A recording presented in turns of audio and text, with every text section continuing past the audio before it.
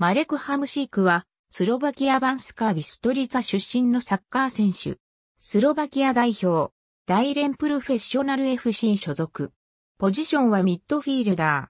ー。SSC ナポリでは12年にわたり在籍し、クラブの最多出場記録及び最多得点記録を更新。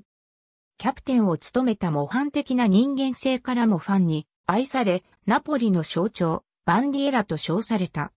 スロバキア代表では2007年2月の代表デビュー以降、同国歴最多の113試合に出場し、スロバキア代表初の FIFA ワールドカップ、UEFA 欧州選手権出場と、両大会でのベスト16進出に貢献した。ハムシークは、バンスカービストリツァで生まれ育ったが、地元の有名なクラブである FK デュクラバンスカー、ビストリツァではなくユピエポドラビツェという小さなクラブでサッカーを学んだ。2002年にケースロバン・ブラチスラバの下部組織に移籍すると2004年に17歳でトップチームでデビューを果たし6試合で1得点を決めた。同年、イタリアセリエ A のブレシアカルチョへ移籍すると2005年3月のキエーボ・ベローナ戦でリーグ戦デビュー。これは、ハムシークが17歳と237日の時の記録だった。ブレシアは2004の05シーズンに19位となったため、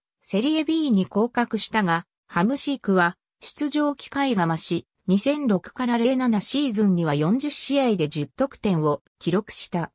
2007年6月28日、SSC ナポリへ移籍。5年契約で移籍金は550万ユーロ。同年9月16日の UC サンプドリア戦で初得点を決めると2007から08シーズンには、エセキエル・ラベッシやマルセロ・サラジェタといった FW がいるにもかかわらず、チーム最多得点の9点を叩き出し、2008年にはイタリア人以外で初めて若手サッカー選手賞を受賞した。2016年1月6日、トリノ FC 戦でセリエ A300 試合出場を達成。4月にナポリとの契約を4年間延長した。2017年12月のサンプドリア戦でゴールを決め、ナポリでの通算得点を116とし、ディエゴ・マラドーナをしのぎクラブ歴代最多得点者となった。なお、このクラブ記録は2019から20シーズンにドリース、メルテンスが更新している。2018から19シーズンのセリエ A 第5節、トリノ FC 戦でセリエ A400 試合出場を達成した。2018年11月6日の UEFA チャンピオンズリーグ第4節のパリ・サンジェルマン2019年2月14日、大連一方足玉クラブへ移籍することが発表された。スロバキア代表としては U-17、U-19、U-21 といった各年代の代表チームを経験した後、2007年2月7日のポーランドとの親善試合でデビュー。同年10月17日のサンマリノ戦で代表初得点を挙げた。スロバキア代表に定着すると、中盤の攻撃的なポジションを務め、2010FIFA ワールドカップでは無得点に終わったが、チームのベスト16進出に貢献した。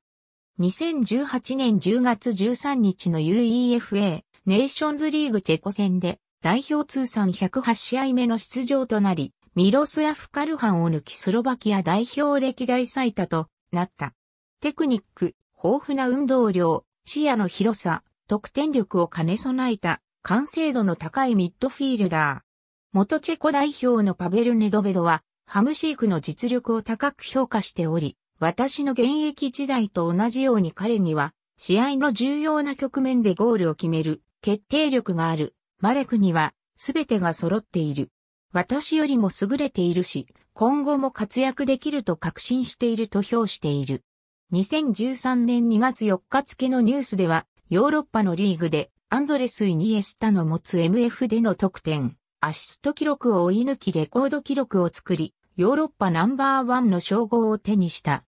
側頭部を刈り上げていなかった頃の上型スロバキア代表で首相を務めるハムシーク SSC ナポリ。ありがとうございます。